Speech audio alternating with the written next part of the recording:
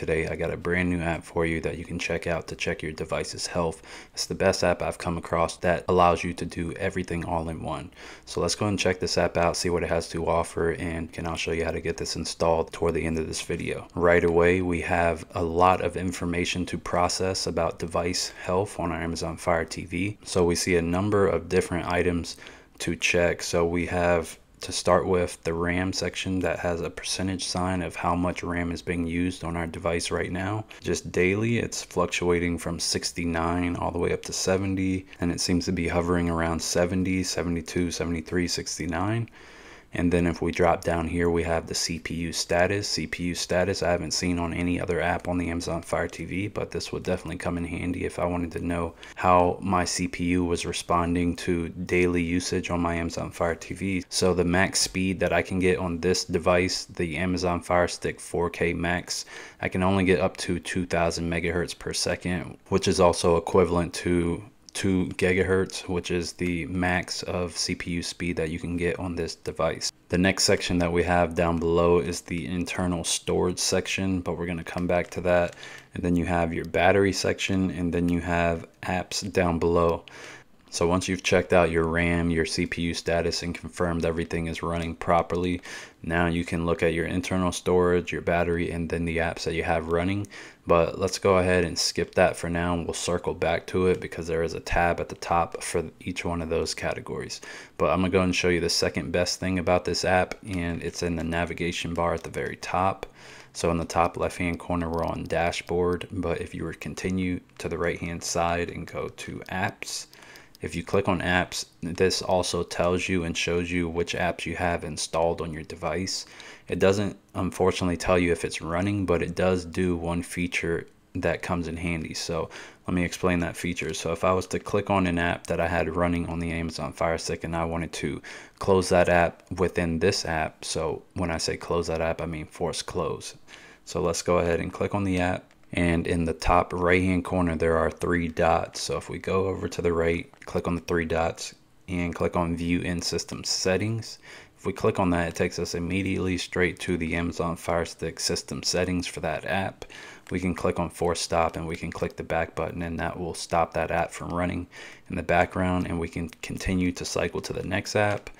And we can also check all of the status device health issues that we had going on. So I did go ahead and cycle back and you can see the RAM is lowered once again to about 68 69 it didn't lower that much but it is hovering below 70 so I close that app and now we get a little bit more RAM back and you can watch that in real time right here.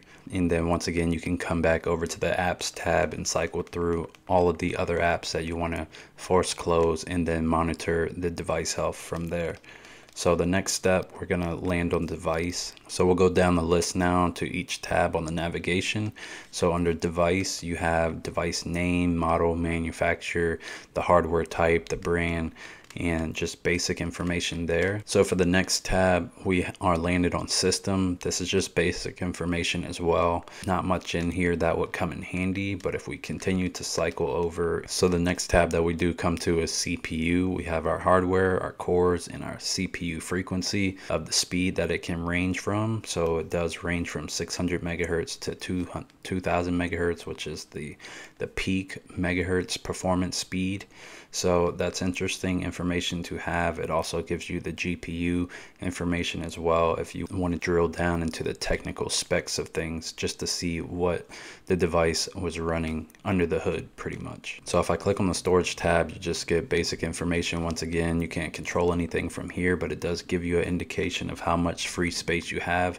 So we're at 74% total space used on our device. So that's about a third of the way as well. So we have about 3 gigs free, it says.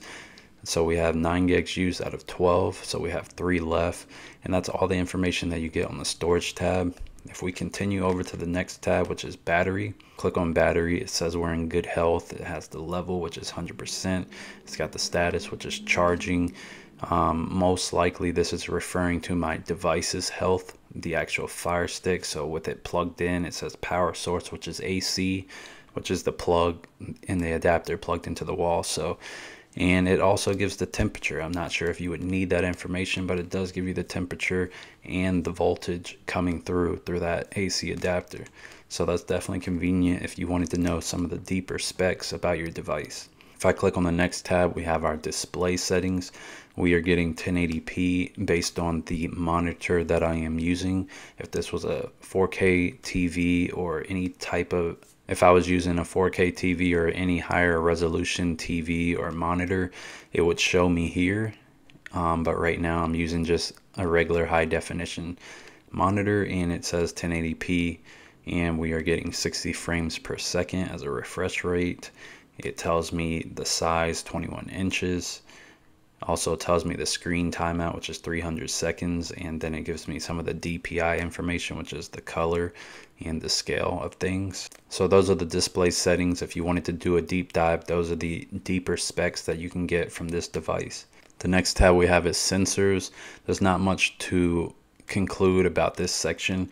It just has nothing. It just says zero sensors available. If we proceed to the apps. So if I click on the next tab, which is called apps on the navigation menu, we have a list of all of our apps. Once again, this section comes in handy once again because you can search for an app, any app on your device, click on the three dots in the right hand corner and then click on the view settings and then you can immediately force stop that app and then go back and then you can go back again and you can cycle to any of the next apps to force close them and then you can jump immediately back to the next tab which would be dashboard and you can come in here and check your RAM and your CPU speed to see if any progress has been made as far as a speed boost um, once again, it does take a little bit of time for that speed boost to occur, but you will see it right there in the top right hand corner once it does register that free space. So that's the app section. And if we wanted to go over one more time to the last tab, which is tests, we can test a variety of different things like display. We can test our speakers. We can test vibration. We can test Wi-Fi. If I click on test Wi-Fi, it just tells me if my Wi-Fi is good and connected and it says I passed. So I'm just going to click my, but this app is great. That concludes the app. Let me go and show you how to get it installed on your device. So I'm going to go back to the home screen. So if you wanted to get this app on your Amazon Fire Stick, all you have to do is go over to the magnifying glass on the left hand side. You want to come down to the search, click on search.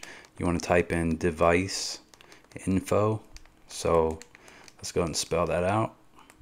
Alright, once you have device info, there won't be any search results, so just click on device info once you have it spelled out. Come down here toward the bottom under apps and games. Under apps and games, you'll see this app called device info. You want to click on that app. If you don't already have this app installed, we'll click on the download button and let the download process for about 30 seconds and then we're going to open it up. Once it's done downloading, you want to open it up and then you can begin using this, checking your device health. Once you do open this up for the first time, you'll have to hit start now and then it'll advance you through you can start to diagnose your device's health and check your speeds and make sure everything's good or you can just do a deep dive and see what all you have access to to see what's going on daily or regularly with your device's health. So it's definitely a good tool to use. Definitely let me know down in the comment section below what you think of it. If you wanted to find this app all you have to do is go back to the home screen on the fire tv click on the three squares with the plus sign and the app will be down here at the very bottom the last app that you installed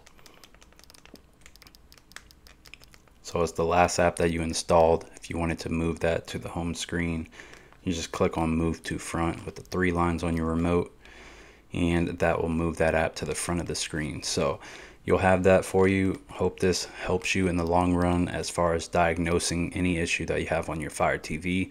Let me know what you think down below. Give it a like, comment, subscribe, and I will see you in the next one.